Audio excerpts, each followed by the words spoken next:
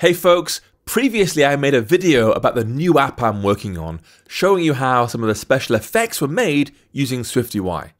I'll add a link to that here maybe, in case you missed it.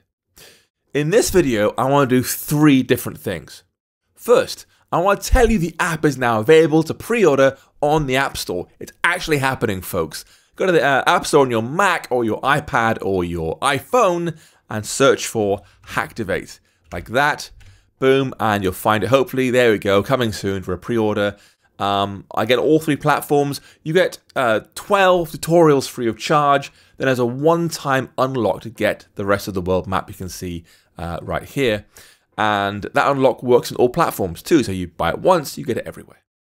Uh, second, I want to show you how I adapted it to work on iPhone, even down to the very, very small iPhone SE. This took a fair amount of thinking, as you might imagine, but SwiftUI really helped. And third, I want to give you a look behind the scenes at how one of my favorite features was implemented. Now, if you missed the previous video, I would suggest you start there. I run the whole app back in an iPad simulator in slow motion so you can really examine how the special effects are built and the animations and stuff. So the app's called Hacktivate, and it's a collection of over 200 graded cybersecurity challenges that must be solved using real world computer science skills. That means things like hashing and encryption and Unix terminals and web browser exploits and SQL injection and more. Plus, it's backed up by comprehensive tutorials to help you learn the skills you need to win. It's been so much fun to build, and the feedback on TestFlight has been hugely positive. Okay, Let's look first at how I adapted it all to iPhone, and this had to happen, because ultimately the iPhone resolution can also appear on iPad thanks to split screen and slide over. So I'll go ahead and launch the app for my Mac right now. Uh, it's thinking now, doing a build, boom. So here we go. Now, you might have noticed before the world map appears, there was a brief Hacktivate logo on the screen. I'll do it one last time. Um, so again, you'll see the word Hacktivate appears for a second or so. There we go, fades away, world map appears. Um, the game loads almost instantly, but that little loading screen is a placeholder so I can silently spin up a web view in the background. WebKit is uh, famously quite a big framework, so by warming up now, I can avoid an ugly animation hitch when it's first used. Anyway, this is running my Mac now, so I can just you know, grab the window, move it around, and resize it, which is great. And uh, things like full screen mode work very well now, another happy side effect of uh, supporting resizing. But on iPad and Mac, where we have lots of screen space to work with, you can just go ahead and tap a region to jump into challenges. So here's the USA challenges down here, or I could say, show me uh, Canada or Central America or whatever. Just jump in, place you like, and get started.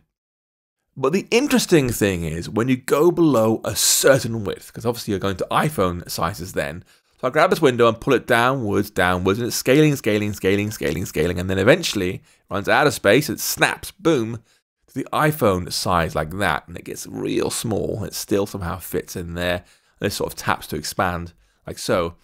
Um, now, it's jumped to the compact width layout now, which is what you'll see on iPhone. Uh, here, space is obviously a lot tighter, so the map now at the top is really more about being uh, an illustration of your progress changing colors from red to green or blue, whatever, as you progress, uh, rather than being interactive. And instead, the regions appear in this area below here, so you can move about between them using these lists like so, because obviously more uh, vertical space than there is horizontal space on iPhone. Now, the real challenge here was making sure you could move between the two size classes smoothly without losing your state. You know, it'd be annoying if the game reset because you went to split screen mode, for example. And so when you choose like, say, uh, zero cool in Central America, and then drag it out again, it jumps the iPhone or iPad or Mac state, sorry, and stays selected. It knows what you were doing. Same for exact things like I'll choose like got the sniffles as my challenge and then scale it down. It'll switch to iPhone layout and keeps it selected, ready to go. And to do that, all the properties that determine which region is active, or which challenge inside the region is active, they're all hoisted above the actual world map view. So when you switch between size classes, SwiftUI basically just picks up where you left off automatically. A bigger problem was the challenge view itself. Because this is where the real work happens. You just have to crack codes and find hidden messages and images and more. So let's go ahead and make the screen nice and big again so you can see the ideal scenario, you know, a, a Mac or an iPad or whatever, right? Um, and I'm going to choose one of the early tutorial challenges down here. It's very, very easy. It's introduction level stuff. Um, and it's teaching about breaking codes. It's called Cypher Salad here. And I'll press Start Challenge. Now, I'm going to ignore the tutorial text at the bottom. It doesn't matter at this point. It's fine. Obviously, you'd read that if you're doing the full thing, but not doing it here. I'll tell you up front, this is an example of a Caesar salad. Salad? Caesar cipher, which is solved by using the rotate text operation. And so I will send this to my salad toolbox over here, uh, and uh, I'll go ahead and, and, add the rotate text operation.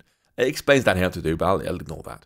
So I'll choose rotate text, boom, and uh, you can see there's input here and output, and I can choose how many places to rotate. So it's 13, 12, 11, 10, 9, whatever. And you can see it's changing the output as I go. So it's very, very fast interactive, which is very nice. Now, on iPad and Mac, we have lots of screen space. So we can see this input area and the output area at the same time, and also adjust our live tools. You just click through things very quickly until I find the correct answer. But on iPhone, we have much less space. So I take a wholly different approach. If I squeeze this window down, a few things change. Let's get smaller and smaller and smaller and smaller and smaller and smaller and zip, snap, there we go. So, um, a few things change. First, the bar across the bottom now becomes this pop-up menu instead.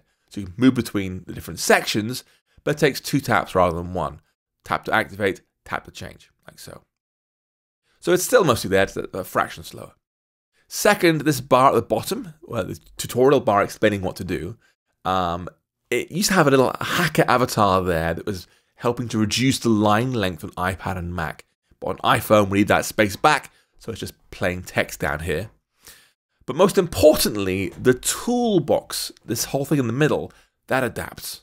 So rather than having all three columns visible at the same time, you know, options, currently select stuff, and then input output, the user now selects which ones will work with at any given time using this little sort of segmented picker here. So inputs here, tools are here, and the active recipe is here. Now, that would have caused problems for this challenge because users have to be able to adjust the text, how they rotate it, and see the output immediately.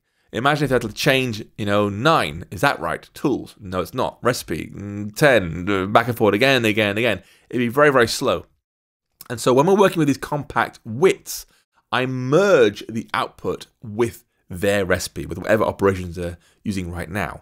And so they can literally make a change here, 10, 9, 8, and see it in the same column, visible all the time, so they can see the results of changes very, very quickly. Now, there are other changes too to make this thing work uh, well on, on, on very small devices but they all follow more or less a similar formula. Me just sitting on the app on an iPhone and thinking, you know, this feels clunky or this takes way too many taps, and then rearranging things until it works better. And honestly, this is something that SwiftUI helped with enormously because it makes it just so easy to break up views into small parts, then rearrange them like Lego pieces. Okay, enough iPhone. I want to give you a look behind the scenes at how one of my favorite features was implemented. Uh, it is the Linux terminal, where you'll see in a bunch of um, challenges. Now, I actually added a new feature to the game recently. I'm still sort of fleshing out fully, but um, it exists uh, down here. It is the uh, Hacktivate World Championships. And these are five regions in the world that behave differently to all the others.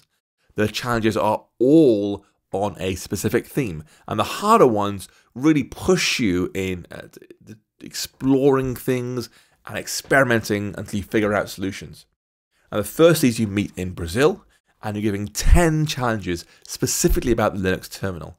I'm going to jump into the very first one now. Uh, tutorial, listen carefully. And it looks like this.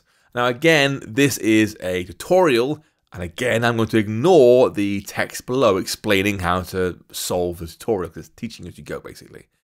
Um, so this thing here, it won't surprise you to know it's not a real Linux terminal. That would break all sorts of App Store rules.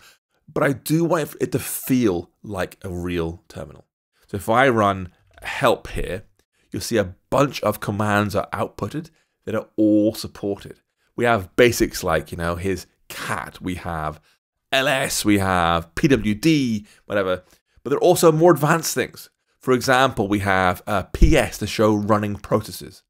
Uh, so I'll go ahead here and type ps, and uh, that's part of the tutorial, so it's, it's going to jump ahead slightly, but you can see it's running. Oh, we've got bash and the terminal running as well. Um, and if you want to, you can um, run it again and again and again, and these values change over time. So it was 48 seconds, now it will be 1 minute 3, whatever, 1 minute 4. So they're evolving over time. Or you can do uh, ps-ef to list things with extra information. It's telling you down here to do the same thing, actually. Um, and now there's a bunch of stuff coming out. You can see all these different processes running. You know, we have a, a Apache 2 and MySQLD and stuff running and they all have various CPU and memory times running that just fluctuate slightly uh, as I run it back again and again and again. You can see again, I press up and enter like you're doing a real terminal to repeat the command again. Um, and I'm actually the uh, user tux right now, so tux at Linux. So if I try something like um, to kill all Apache 2, this is owned by the user www.data, and so run that back, it'll say, I don't think so. Um, so it's it's it's fairly realistic in terms of the the structure we have. Um, if I run help again, um, there's way more advanced commands here. You know, this thing supports things like uh, bash aliases and environment variables and so forth. So it gives me lots of scope to have uh, interesting uh, hacking challenges. Plus, there are ones specifically around server hacking tools. Um, you'll see things like netstat and nc plus tools like um, here's ping. We have uh, grep. There's strings. Uh, there's history. There's a bunch of interesting ways to um, create challenges. And again, they're all faked. You know, I've built them all to work as close to the real thing as I can. But there's no actual data being touched here. It's all running locally. And even lets you do, you know, stupid things if you want to nothing's really damaged. You know, if I, I'm here and I just do, let's do kill or bash, right? Kill my terminal, then yeah, I'm kicked off the server. Uh, in terms of how it's done, there is no magic here at all. It's just a lot of code. And this is only really possible to handle for me because each of the fate commands are more or less independent of the other commands. Things like the environment and aliases, they rely on shared data but otherwise they're separate. And so implementing, say, uh, grep or whatever, right, didn't mean touching the code for ls or wc, for example. This made it surprisingly easy to write. The whole thing is about 3,000 lines of Swift for all these commands to be run. To make it easy to manage, the code is at least split up by command. And so if I go to Xcode, I can show you some code here um, briefly. Uh, let's go to challenge and then terminal and then commands.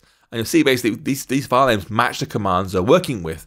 Uh, and so you can see they're all written out here to, to uh, work through neatly split up. For example, here's the code for alias, right? There's not a lot going on here. It's a fairly simple um, command, that one. So if there are no arguments passed in, show the aliases and then print them out neatly and so forth, right? Um, it's just a function called alias takes some arguments coming in, namespaced inside my um, view model, just to keep including the namespace with things like end and exit and similar. Um, some of these are obviously very simple, you know, like exit, for example. If you were root, you're not now, said about nothing at all. Done. Or like unset, also trivial, just removes um, environment variables you provide to it. Um, other ones are more complicated, like uh, netstat or nc and ping. And this is where the real power comes in because there are tools out there that let you run a real Linux terminal entirely through a browser rather than faked commands we'd have actual commands. But, know, I'm not, not just doing this because I enjoy coding. Um, by implementing it all myself, what I effectively have is one huge mock for like test data. I have complete control over everything the user sees and does.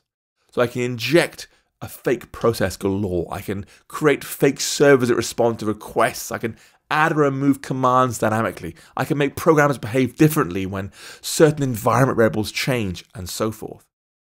It's a lot of work to, work to build, but it's all really flexible, giving me lots of scope to craft interesting challenges. Now, just to give you some perspective here, the complete app, when you go to that world map, um, has well over 200 challenges in these regions, the one you get when you buy the full app.